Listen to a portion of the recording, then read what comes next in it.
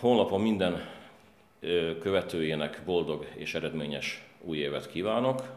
Bízom benne, hogy ebben az évben is többször találkozunk majd az internet közvetítésével, vagy személyesen a rendezvényeken, és kérem Önöket, hogy ne veszítsék el érdeklődésüket a nemzetiségünket érintő történések iránt, és figyeljék az információkat, amelyeket megosztunk Önökkel ezen a honlapon. Köszönöm.